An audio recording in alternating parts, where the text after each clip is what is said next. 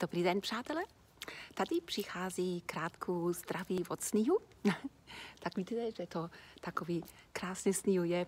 A pro všechny, kteří um, teď se pořád chtějí, že to, abych to byl letos, um, počkejte chvíli, protože zima má takový hezký straně. Například dneska budu ořát krbu a budu čekat můj mláčku s hezkým flaškem ten Tobermory.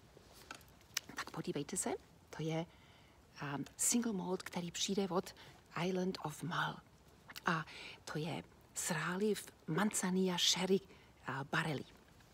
A to má krásný, krásný um, vůni od citrusových plody a koření a kávy a čokolády.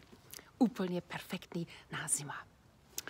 Tak, pro ty, kteří ho už mají, um, můžeme to pít dohromady ten večer.